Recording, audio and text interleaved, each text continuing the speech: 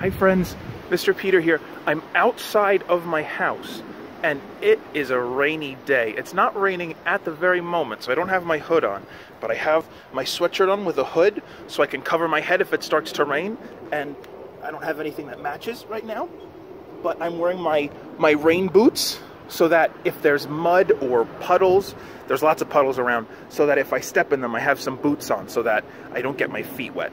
But I wanted to show you some cool things outside while it's raining. Let's see. There are lots of puddles outside. This is along my driveway. There's lots of different puddles. Big, big puddles. Right next to my car. That's so silly. And all of the trees are blowing in the wind. Big, big wind. Whoa, there it goes, big wind. Look at all the trees blowing.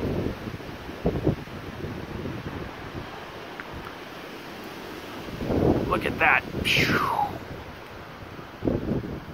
Very windy.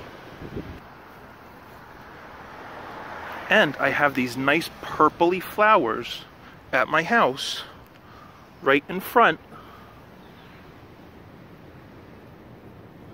See how beautiful they are? They're so tiny. They're just about as big as my finger, the whole thing. So little but I like them a lot. I hope everyone has a really good day. See you later.